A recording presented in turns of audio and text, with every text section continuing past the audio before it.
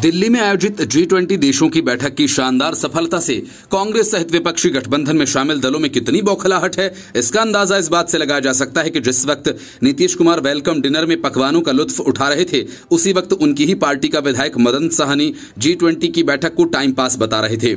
कांग्रेस के जयराम रमेश को इस बैठक को देखकर आज़ादी के पहले देश में हुए अंतर्राष्ट्रीय सम्मेलन की याद आने लगी तो उद्धव ठाकरे की पार्टी के नेता संजय राउत इसे मनोरंजन कार्यक्रम बताने लगे। राउत ने चार दिन तक दिल्ली बंद किए जाने को नाकेबंदी कहते हुए पूछा कि आखिर सरकार किस बात से डर रही है। राउत ने दावा किया कि 2024 में मदर ऑफ़ डेमोक्रेसी में बदलाव आएगा। सामना में राउत ने लिखा कि हमारे देश में फ़िलहाल सरकार प्रायोजित मनोरंजन के विभिन्न कार्यक्रम चला रही है। प्रधानमंत्री नरेंद्र मोदी भी लोगों का मनोरंजन अच्छा ही कर रहे हैं। जी ट्वेंटी सम्मेलन के उपलक्ष्य में दिल्ली को सजाया गया। 20 देशों के राष्ट्र प्रमुख दिल्ली पहुँच गए। और इस सम्मेलन की मेजबानी भारत को मिली। दिल्ली बंद किए जाने पर राउत ने लिखा कि दूसरे देशों के ऐसे सम्मेलनों में मैं जा चुका हूँ, वहाँ पर लोगों को कम से कम परेशानी हो, इस तरह के समारोह का कार्यक्रम किया जाता है। लेकिन हमारे देश में इस तरह के समारोह, अर्थात जनता को परेशानी। जी ट्वेंटी सम्मेलन में रूस के और चाइना के राष्ट्रपतियों के न पहुँचने पर पहले कांग्रेस अपना दुखड़ा सुना चुकी है तो संजय राउत भी कांग्रेस के सुर में सुर मिलाने लगे। राउत ने तंज कसते हुए लिखा कि जी के लिए देश में, दिल्ली में बीस देशों के राष्ट्र प्रमुख आए। उसमें अमेरिका के जो बाइडेन, चाइना के और रशिया के राष्ट्र प्रमुख नहीं पहुँचे, इसलिए समारोह थोड़ा फीका पड़ गया। राउत ने लिखा कि दिल्ली की गरीबी कुव्यवस्था झुग्गियाँ दिखाई न दें, इसलिए ऐसे कई हिस्सों को रंगीन पर्दों से ढक दिया गया। इस दरिद्रता को सरकार बीते आठ से नौ वर्षों में खत्म करने में नाकाम रही, इसलिए इसे ढककर रखने की नौबत आई। राउत ने लिखा कि दिल्ली में विदेशी मेहमान बहुत हैं, लेकिन माहौल नीरस है। संसद के विशेष सत्र पर राउत ने लिखा कि निमंत्रण आया है, लेकिन ये निमंत्रण विवाह, यज्ञोपवीत संस्कार और किसी की जयंती, पुण्यतिथि या किसी और चीज़ का है। मोदी सरकार के मन में आया, इसलिए उन्होंने सत्र का समारोह आयोजित किया व निमंत्रण दे दिया। उन्होंने कहा कि भूसा भरे हुए लोगों को कुर्सियों पर बैठाया गया और दो चार लोग ही सरकार चला रहे हैं। राष्ट्र बेरोजगार, भूखा है। उसकी चिंता कौन करेगा? देश में सिर्फ़ कसरतबाजी और मनोरंजन के कार्यक्रम चल रहे हैं। शिवसेना यूबीटी के नेता ने जी ट्वेंटी सम्मेलन में देश का नाम भारत इस्तेमाल किए जाने पर भी हमला बोला। उन्होंने लिखा कि संविधान द्वारा स्वीकृत नाम से डरने वाली सरकार हमने पहली बार देखी है। मोदी सरकार ने जानबूझकर इंडिया का नाम बदलकर रिपब्लिक ऑफ़ भारत रख दिया। जी ट्वेंटी नामक मनोरंजक कार्यक्रम के लिए उन्होंने president of republic of Bharat नाम से निमंत्रण पत्र छपवा दिए। संजय राउत ने लिखा कि इंडिया के प्रधानमंत्री के रूप में नेहरू से लेकर मोदी तक सभी लोग दुनिया भर में घूमे और इंडिया के नाम के प्रति मोदी सरकार के मन में इतना कूट कूट कर द्वेष भरा है, इस पर आश्चर्य होता है। रिपोर्ट न्यूज़ ऑफ़ इंडिया 300 बैठकें और 200 घंटे की बातचीत के बाद भारत को न्यू दिल्ली डिक्लेरेशन पर आम सहमति बनने में सफलता मिली। सफलता ऐसी कि पूरी दुनिया में भारत का डंका बजने लगा। लेकिन इस सफलता से कांग्रेस और उसके गठबंधन में शामिल दलों को कोई खुशी नहीं हुई। किसी ने पूरी बैठक को टाइम पास कह दिया तो किसी ने मनोरंजक कार्यक्रम। लेकिन इन सब के बीच कांग्रेस के शशि थरूर ने अपनी ही पार्टी के स्टैंड और विपक्षी दलों की बयानबाजी की हवा निकाल कर रख दी। शशि थरूर ने जी ट्वेंटी शिखर सम्मेलन में सर्वसम्मति से घोषणा पत्र को स्वीकार किए जाने पर अमिताभ कांत की तारीफ़ की। उन्होंने कहा कि जी ट्वेंटी शिखर सम्मेलन में रूस यूक्रेन युद्ध पर प्रमुख मतभेदों को दूर करते हुए सर्वसम्मति से घोषणा पत्र स्वीकार किए जाने के बाद भारत ने एक बड़ी जीत हासिल की। ये देश के लिए गर्व की बात है। एक रात पहले की कठिन समझौता वार्ता ने भारत को यह सफलता दिला दी, जिसके लिए पीएम मोदी की टीम जी ट्वेंटी अध्यक्षता मिलने के बाद से ही दिन रात परिश्रम कर रही थी। शुक्रवार शाम तक यूक्रेन मुद्दे को लेकर दिल्ली घोषणा पत्र पर आम सहमति का मामला अटका हुआ था। ये खतरा भी मंडरा रहा था कि क्या शिखर सम्मेलन से एकजुट बयान जारी हो पाएगा। लेकिन इसके बाद भारतीय टीम ने चाइना, रूस और पश्चिमी देशों के प्रतिनिधियों के साथ फिर से वार्ता का दौर शुरू किया। उसमें भारत को ब्राज़ील, दक्षिण अफ्रीका और इंडोनेशिया का पूरा सहयोग मिला। इन प्रयासों से भारत को यूक्रेन मसले पर तैयार अनुच्छेद को लेकर चाइना को सहमत करने में कामयाबी मिल गई। बाद में यूरोपीय देशों ने भी इस पैरे में लिखी बातों से सहमति जता दी थी।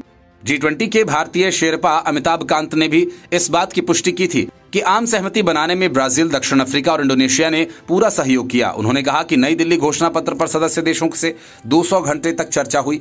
रूस और चाइना के साथ अलग से लंबी बातचीत हुई, जिसके बाद शुक्रवार रात को अंतिम मसौदे पर सहमति बनी। इसी बातचीत को आधार बनाकर कांग्रेस सांसद शशि थरूर ने एक्स पर भारतीय शेरपा अमिताभ कांत को बधाई दी। उन्होंने कहा, ऐसा लगता है कि जब आपने आईएएस का विकल्प चुना तो आईएफएस ने एक प्रतिष्ठित राजनयिक खो दिया।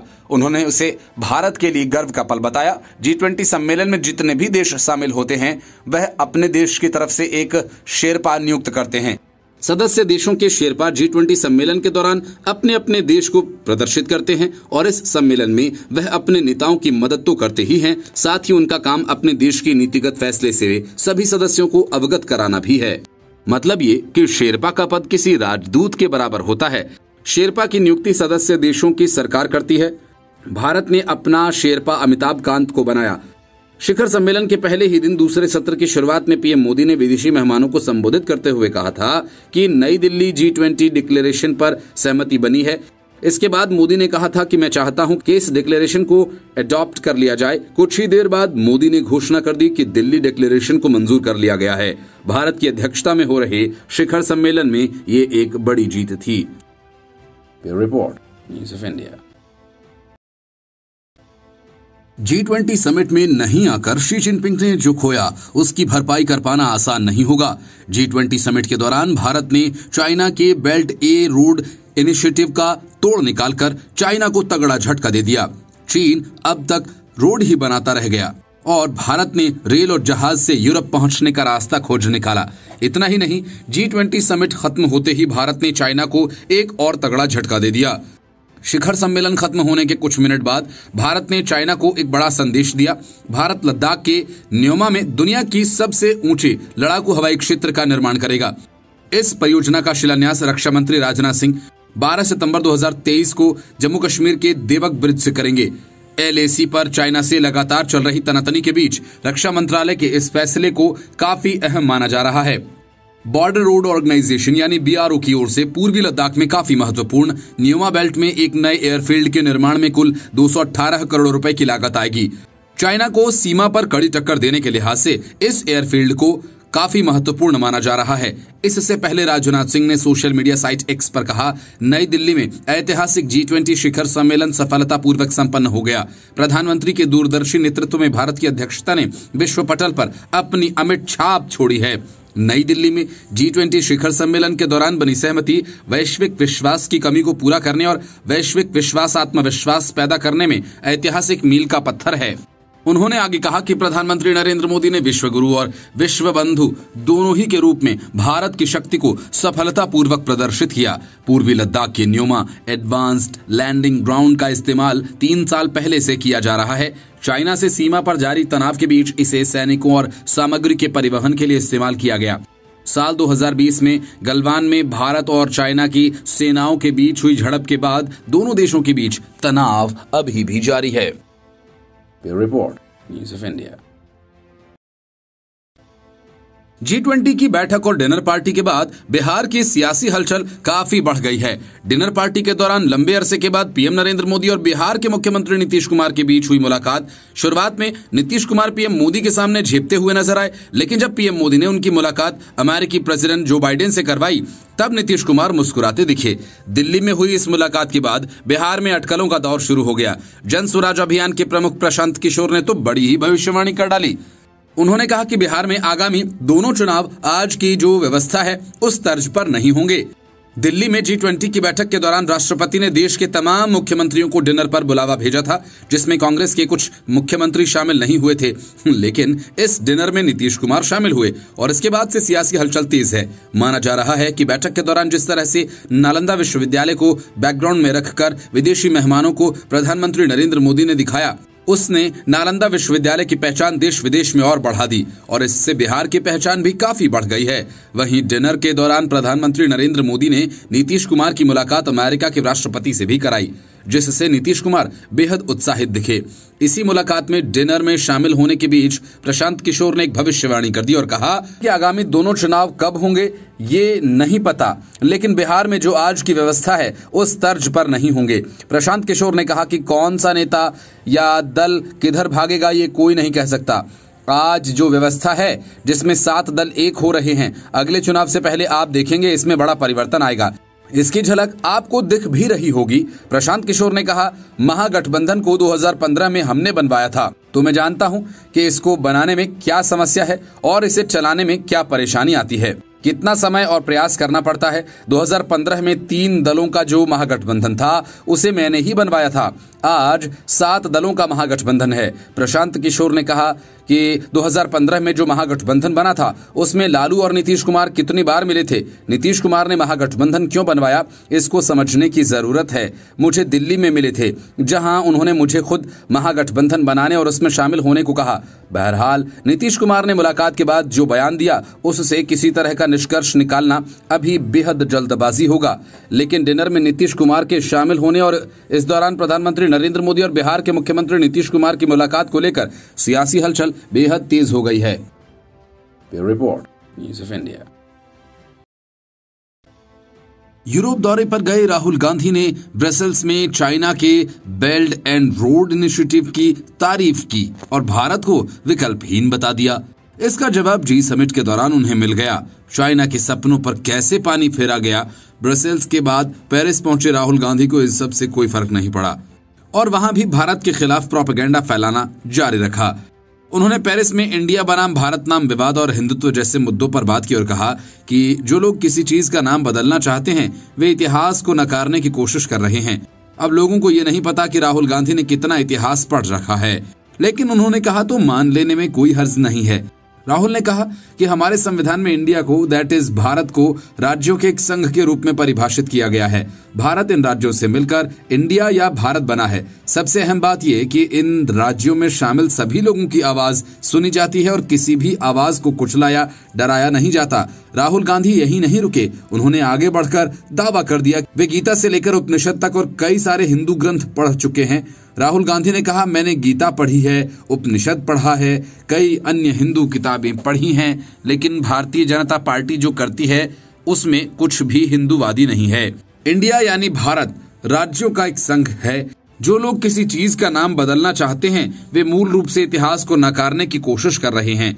छात्रों को संबोधित करते हुए राहुल ने कहा, मैंने इस बारे में बात की कि कैसे इंडिया, दैट इज़ भारत अपने सभी लोगों की आवाज़ का प्रतिनिधित्व करता है और कैसे एक डिसेंट्रलाइज और डेमोक्रेटिक भारत की एक नई राजनीतिक दृष्टि आगे बढ़ने का रास्ता है।